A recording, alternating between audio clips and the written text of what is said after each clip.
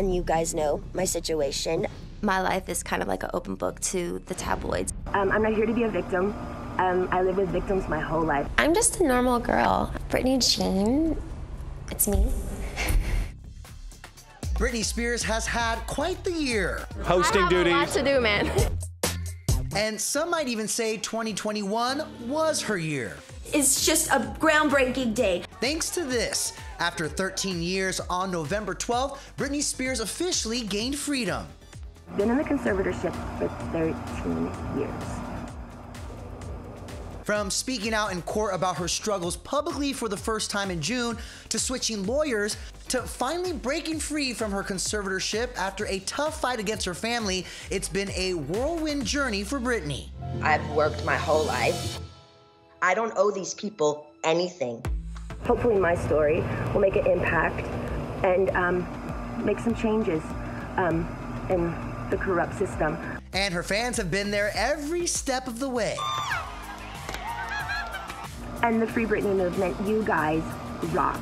Um, because of you, I honestly think you guys saved my life. The singer also received an outpouring of love and support from many friends and celebs. That makes me so happy, and I just wish her all the love and happiness in the world because she deserves it. I'm here to support her if there's anything she needs in private. It's good to see and it's good to hear. I care for her and I wish her all the best and I'm so happy that she gets to have the future that she wants now. And the cherry on top to her newfound freedom? Well, Brit is getting hitched. Look at that. You like it? The pop sensation got engaged to boyfriend Sam Asghari back in September after nearly five years of dating and a change in her conservatorship that previously didn't allow her to wed. I won the biggest wedding in the world. It's up to her. She's wearing the pants now.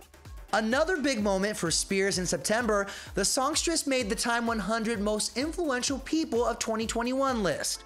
Cool, very cool. Britney's pal and one of her biggest advocates, Paris Hilton, authored an essay for Time's list calling Spears iconic, a legend, a fighter, and the sweetest soul.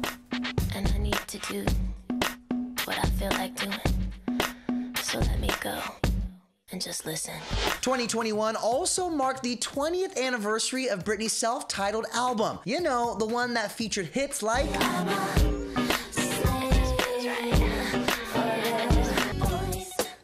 A girl just needs one. I'm not a girl. Not yet a woman. The album became 2001's most successful debut by a female, topping the charts and breaking records. To date, it sold over 10 million copies worldwide. Happy birthday to me. Happy birthday to me. Another major milestone for the pop star, she turned the big 4 0. Happy birthday to you. Oh my God. Britney celebrated with fiance Sam in style on a private jet. The celebration was complete with balloons, a beautiful floral cake, a mariachi band, and the couple even caught view of some stunning fireworks. At the time, a source told ET that Britney felt that this was the first year in a very long time that she actually had reason to celebrate her birthday because she is finally living and enjoying life. Quote, Britney is looking forward to this new chapter and to what 40 will bring. Adding, quote, her team is being very thoughtful about Britney's next steps and everyone wants to make sure she feels supported and taken care of. So, what's next for Brit? Well, we'll wait and see. What am I gonna do now? Take each day at a time. The main thing is to enjoy life. I just want to be a happy person.